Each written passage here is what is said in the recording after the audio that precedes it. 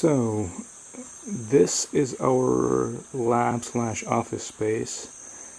I'm just uh, putting together some soil loggers and it's a nice space, kind of open and because it's open you've got stuff like this going on.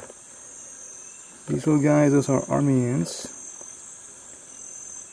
and these army ants have decided to check out our lab space and form what's called a bivouac.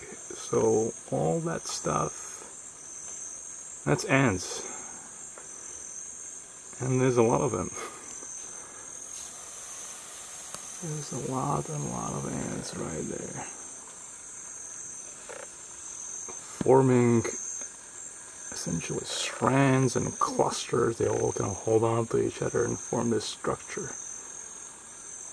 And yes, this is a lot of ants.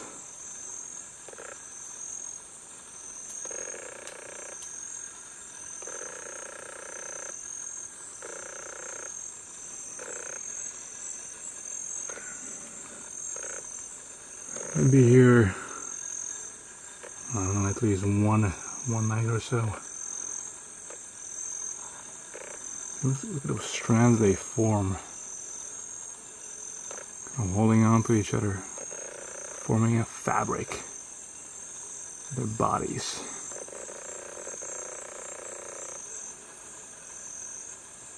And they're carrying some stuff around that they found.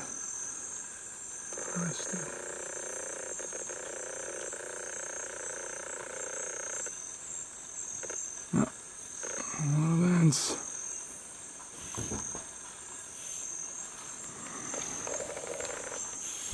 Hmm, let's go back to work.